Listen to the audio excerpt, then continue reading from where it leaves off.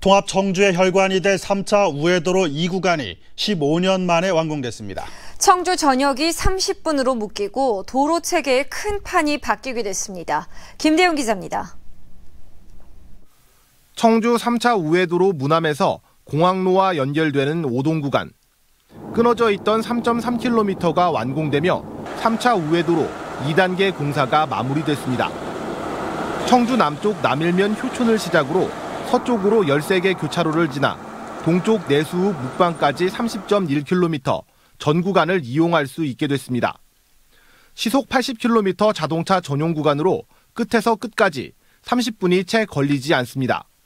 17번 국도하고 그다음에 그 제2순환로 교통 체증이 많이 좀 해소가 좀 될 것이고 전체적으로 30분 안에 전부 다 이제 소통이 가능하다고 이렇게 공사 기간만 15년, 들어간 예산이 5,500억 원이 넘는 청주 지역 최대 토목 공사입니다. 우회도로와 연결된 LG로도 다음 달 8일 완전 개통을 앞두고 막바지 포장 공사가 한창입니다.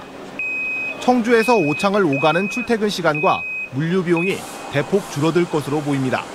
3공단에서 오창공단 또 옥산이라든지 이런 데로 연결이 쉽기 때문에 그 생산적 효과가 대단할 것으로 생각이 됩니다.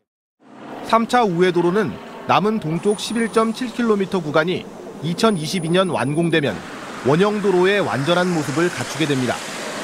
세종시와 청주를 연결하는 도로도 올해 연말 완공되면 세종시까지 30분 생활권으로 묶입니다.